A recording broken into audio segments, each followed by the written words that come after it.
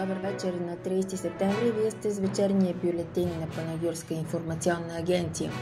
Нека да видим какви са основните акценти от първия работен ден. Скрининг на синдрома на обструктивната сънна апнея се извършва в отделението по вътрешни болести на многопрофилна болница за активно лечение Уни Хоспитал. На 20 сигнала са реагирали огнеборците от областта за времето от петък до днес.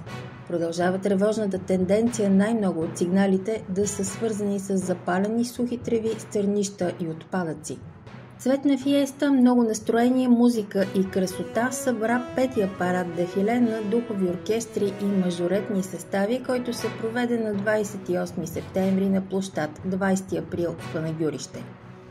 На 4 октомври в градска библиотека Стоян Дринов Панагюрище ще бъде представена книгата на Христо Костурков «История на шахмата в Панагюрище». На 7 октомври на голямата сцена на театър Дом Паметник от 19 часа Камен Донев ще представи авторския си спектакъл Възгледите на един учител за всеобщата просвета или лекция номер 2. Продължаваме с кратък обзор на спортните събития от изминалите два почивни дни – Илия Царски с Mitsubishi Lancer Evo 9 спечели писта Стара Загора в върховата серия Макси. Състезанието беше четвърти кръг от националния шампионат на затворен маршрут. Загуба с 1 на 0 като гост на Банско инкасира ФК Оборище. Матчът от деветия кръг се игра на стадион Свети Петър в курортния град. Дублиращата формация на обоище пък продължава доброто си представяне. В събота дубъла записа 0 на 2 като гост на миньор Елшица в матч от четвъртия кръг на първенството в Б областна група Пазарчик, северна подгрупа.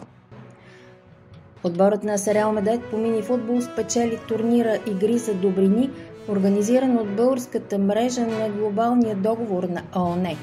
Наградата е чек за 3000 лева.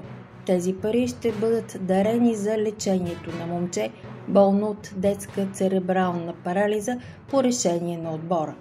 Такива бяха основните акценти от последният ден на септември. Екипът на Панагюрска информационна агенция ви пожелава спокойна вечер.